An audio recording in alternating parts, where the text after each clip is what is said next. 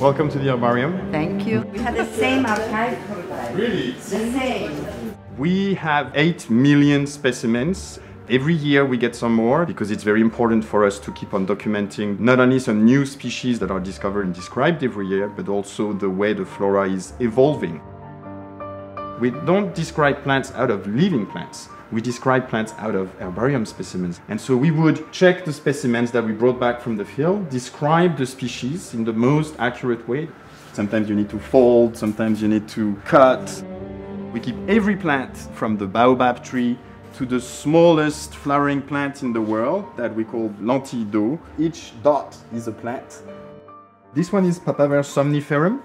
And you see that like in the document you sent is Let's little remember funkier. more the style that we have in Mediterranean area. Yeah. And also that we are lost in, I see less than in the past.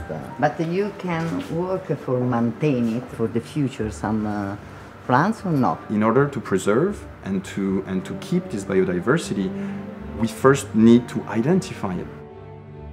Today we really go into areas of the world where the wild plants are threatened and it's very important for us to do that now because the clock is ticking, you know, and we really need to go as fast as possible before it's gone.